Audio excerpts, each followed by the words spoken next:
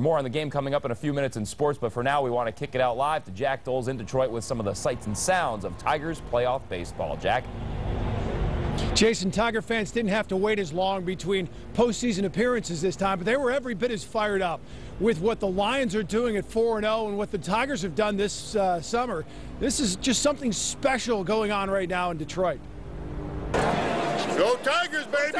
Tigers. Seems like 2006 to me. Split New York and sweep them in the D-Town. It's the type of thing that can bond a city together. In this case, an entire state.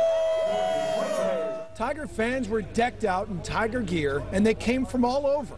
Grillmaster Tony Rogers brought his Weber from Grand Rapids, but he forgot his tools. They're a little burnt, but you know, you got to sacrifice something for the greater good. I mean, these guys, these guys are expecting things.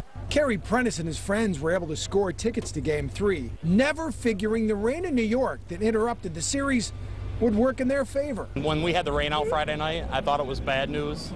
And then we found out that they were going to pitch tonight. And uh, it's a lot better seat when you're in the stadium than being at B-Dubs there on Alpine.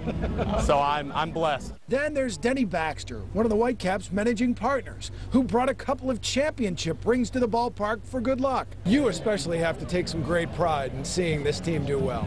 Oh, absolutely. We've got such a great connection with so many of the ball players from the Whitecaps that have been such big contributors to this championship that uh, it's really uh, pleasing for Lou and I and all of Grand Rapids really should be proud. And Tiger fans aren't the only ones basking in Detroit's winning glow.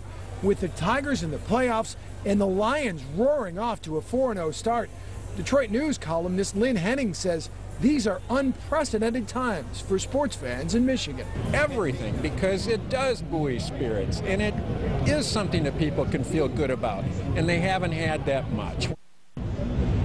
Justin Verlander, a big reason the Tigers are in the position they're in, but the Yankees have just scored two runs on the seventh inning, and this game now tied 4-4. Tigers coming to bat in the seventh.